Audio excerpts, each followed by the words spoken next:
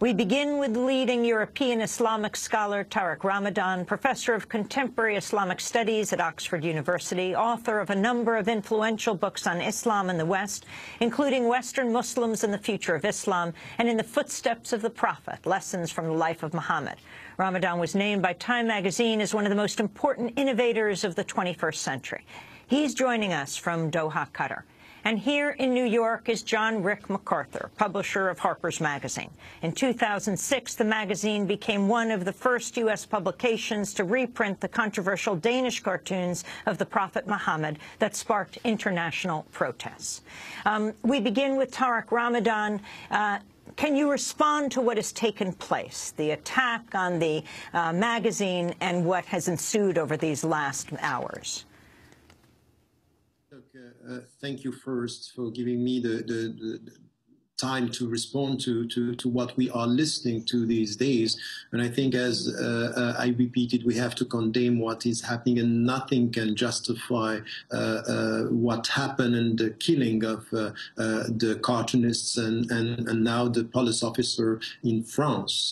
what is important for us is to make it clear that we stand by our principles. And while I was debating, you know, the journalists in France about the cartoons and the way they were uh, coming to or, or, nurturing controversies about you know insulting the, uh, the, the, the the prophet, insulting Islam. I made it clear from the beginning. This is your freedom to do so. I don't think it's good. I don't think it's uh, it's uh, uh, an intelligent and decent way to to deal with freedom of expression. But you need to be protected as to to your right to do it. And I said to the Muslims, uh, by the way, in the states as well as everywhere, even in the Muslim majority countries, that that we need to get it right, that uh, we are not going to convince our fellow human beings or fellow citizens uh, that we are a religion of dignity and, and freedom and responsibility if we start by censorship. That's not the way it has to be, neither in the West nor in Muslim majority countries.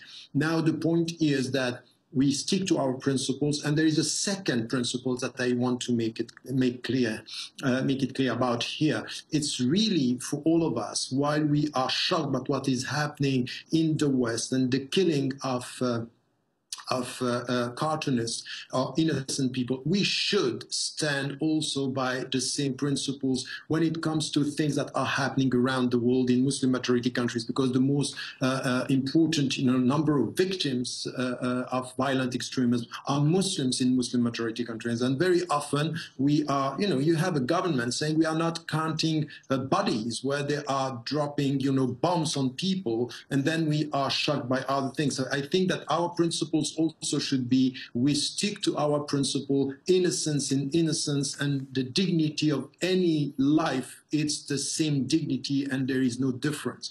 And then the third thing that uh, I, I, would add to this now is that we have to come together in the, in the West as Western citizens and understand that uh, the, the, it's not a Muslim business. We are not talking here about, you know, these are murderers and, and it's only Islam that is, or Muslims who have to talk about this. We have to come together to, understand that we have a common enemy, uh, which is, uh, of course, violent extremism extremism and all the reasons and causes that are uh, upstream uh, nurturing this when it comes to supporting dictators, not giving the freedom to, uh, for the people to find their, their way in the future. We need to be consistent as to our condemnation of the consequences and our analysis of the, the causes and the principles we stand for.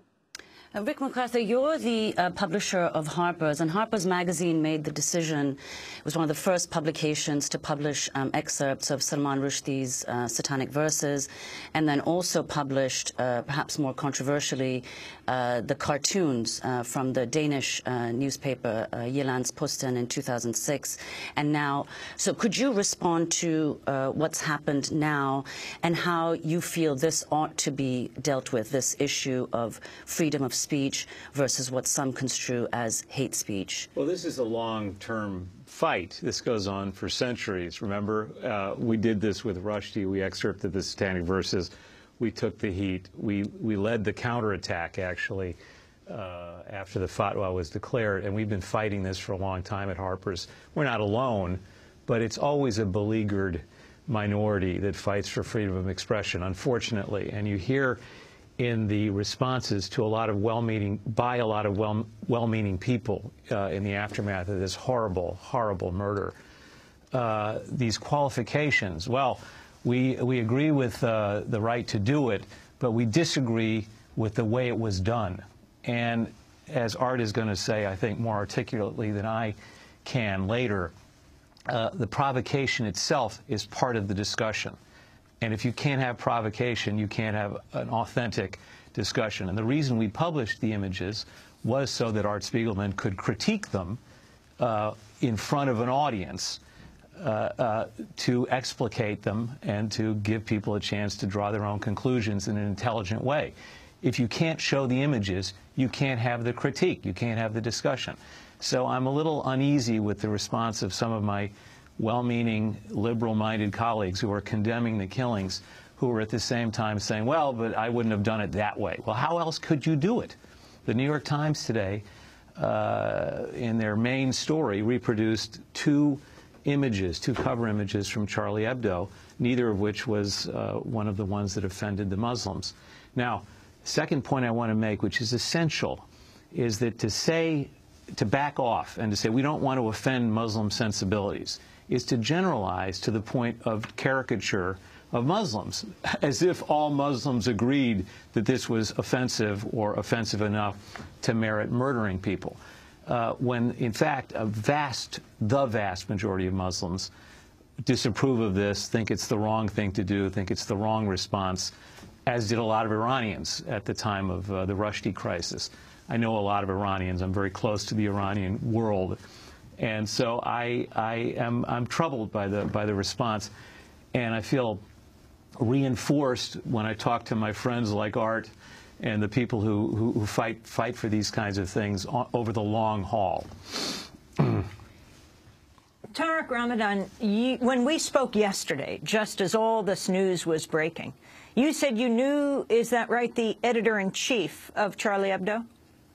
Yes, yes. I knew him and I debated him in, in I think, two TV programs in France, and we were disagreeing.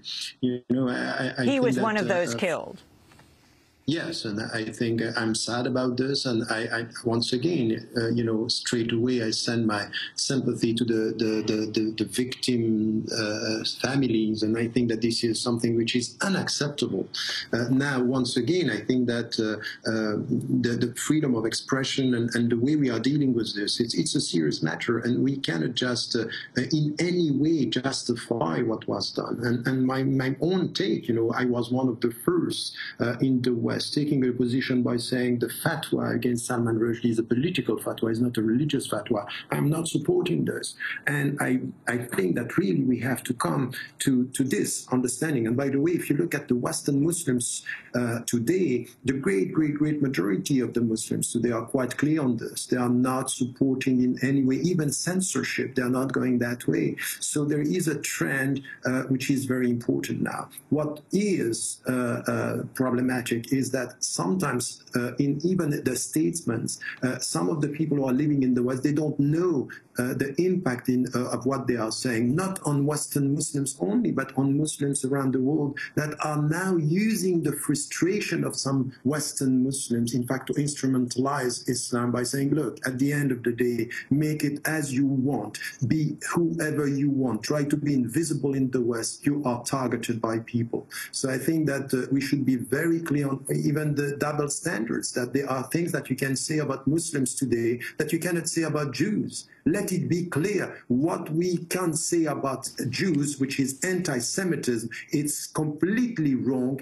Islamophobia is wrong. Don't have these double standards and just target the weak people. And this is why I said to the chief editor of Charlie Hebdo, what you are doing is, you know, in French, I said, this is the humor of the, the, the, the people who have no courage. You have, you have a lack of courage in the way you are dealing because you know who you are targeting. So my point is not your freedom of expression is the freedom that you have to target the people who are weak within your society. And I don't think that this is the right way of using your, your freedom of expression. Now you have the right to say whatever you, you, you want to say. Principles are principles, but decency and responsibility are also important in this discussion. Rick MacArthur. Yeah, well, the important thing to remind you again is that, well, I didn't say it at first, was that in Art Spiegelman's essay in Harper's Magazine, we made a point of including anti-Semitic caricatures, anti-Semitic uh, uh, imagery, so that art could make the point that this all depends on whose ox is being gored. And he takes the position uncomfortably as a Jew who's written uh, brilliantly about the Holocaust and, And about Auschwitz. speak for himself in one He speak for himself. Uh, that that uh, that you know we're Catholic in this in our approach to this. We're open-minded and. We understand that as journalists and as writers and as critics, we have to be able to take the worst offense ourselves uh, in order to be able to justify on principle offenses committed against other people. My example is always the Nazis marching in Skokie, which to me is vastly worse, uh, more offensive to my sensibilities than, than these caricatures of, of the prophet. Um, but I stood up, and so did a lot of other people, for the right of free expression so that the Nazis would be permitted to march in Skokie, which is a, a, a place where a lot of Holocaust survivors live. That's how uh, seriously people like Art and I take freedom of expression. But can I ask you a question about that? If you look at the situation in the West, really now, if you are, uh, you know, a citizen, as I am a citizen, when you speak here about equal citizenship and equal rights for each, can you can you feel the fact that there is a double standard, that there are things that we can say in the West and things that we cannot say? And for example, this is also part of the frustration. It's as if today, whatever you want to say about Muslims, you can say it. Once again, I come to the principles. I would be the first to defend this right to say whatever you want to say. But the reaction, the emotional reaction, is a selective reaction. And it's not the same depending on what you are talking about. You are very, if, if you are targeted as anti Semitic, it's, it's, it's over for you. But when you are having Islamophobic statements, that's fine. That's the normalization of this discourse. And the problem is that it's not only coming from the far right parties. The problem that I have in the West now, uh, wherever you are, look at the demonstrations that we had in Germany recently, is the normalization in the political discourse of Islamophobic statements. So don't you feel that there is a double standard? Don't you feel that we are talking about freedom of expression targeting the Muslims more than others? This is at least the feeling of Western Muslims, and you cannot just drop it and, and dismiss it as if it's not existing. Well, I'm uncomfortable with the expression, the feeling of Western Muslims, because again, I fear generalization as opposed to what specific Muslims are saying, what specific newspapers are saying. I'm yeah, yes, of course, yes, but of course there are double About your feeling. standards. But of course there, about- but tell of, about your own but of course there are double standards and uh, uh, all over the place. But that doesn't change the point that I'm trying to make, which is that we should be striving to defend the most extreme examples of satire and provocation as a matter of principle, and not uh, apply double standard. Of course. As I said, I was more offended. I'm more offended by Nazis marching in Skokie than I am by the Prophet Muhammad being satirized in Charlie Hebdo. But it, doesn't change my uh, commitment to defending both uh, uh, both forms of provocation as a matter of principle. It doesn't mean I approve of them. And I'm just nervous about people starting to, to back and fill and say, look, uh, if you had just done it in a nicer way, it would have been acceptable, or a less offensive way. Well, how do you how do you Yes, how, do you- how do you- address you- these you know- questions?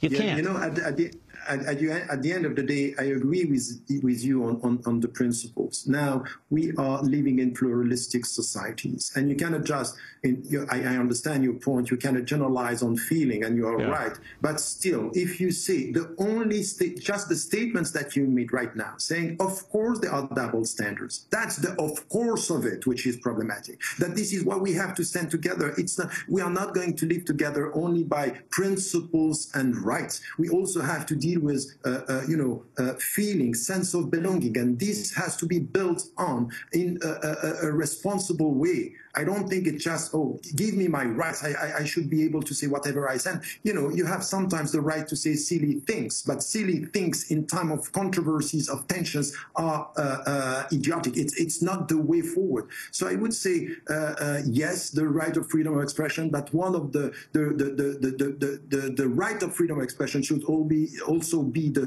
the responsible way of using it. If I could, and, and it's not, uh, it, it's, it's, it's about human dignity. It's about living together. If I could just quickly interrupt you, because I, I uh, to say at the end that there's a political question here which we're not dealing with, which I keep trying to deal with while separating it from the principle of freedom of expression.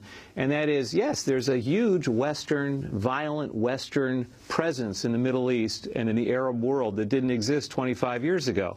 Uh, when we sent troops to Saudi Arabia before the first Gulf War, we tore something uh, in the Muslim world. We outraged people. But this is a political question that you should also be talking about. The American army sending troops to, to uh, uh, holy soil in Saudi Arabia is a different issue and a different propagation from a French magazine publishing satires of the Prophet Muhammad. And if people don't begin to look into, make the connections or discuss the, the political context of the, of the Western presence in the Middle East, the military presence, I think we're going to have a hard time getting around this, um, I, this roadblock. I, I, I really, I really agree with you on this. I, I, think that this is essential. It's essential for us as Westerners and, and Western Muslims should should be involved in this discussion. We cannot cut this discussion from the big picture. And the big picture is yes, the way, for example, our Western governments are dealing with dictatorships, are dealing with uh, uh, uh Gulf states, and and and by uh, being silent about freedom, about dignity, and even supporting regimes where there is no freedom of expression, and and this is the right point to make, but this is part of the whole discussion. And you and me, as Westerners or from the United States as well as from Europe, we have to be clear. We are not going to defeat anything which has to do with violent extremism if we are not dealing with justice, with freedom for the people, with uh, the real uh, uh, reform, uh, reformist approach in the Muslim majority countries. And what is happening today is exactly the opposite. We have the West supporting the worst dictatorships and coming to us as Western Muslims say, okay, now apologize for the consequences of what is happening. So we should stand to principles, but we cannot uh, uh, avoid talking about the big picture, and the political one is essential. We have to leave, um, and also uh, Rick MacArthur will be leaving us. Rick MacArthur is publisher of Harper's Magazine, um, uh, author of Second Front, Censorship and Propaganda in the Gulf War, uh, published the, uh, the Danish cartoons as well as uh, the excerpts of satanic verses when a fatwa was issued against Salman Rushdie. But he will be replaced by the man he um, invoked, uh, Art Spiegelman, the famed Pulitzer Prize-winning uh, cartoonist, editor, comics advocate, uh, best known for his graphic novel Maus. Uh, we will also be joined um, uh, by Gilbert Achcar, the professor at the School of Oriental and African Studies at the University of London, and Tariq Ramadan will stay with us. This is Democracy Now! We're back in a minute.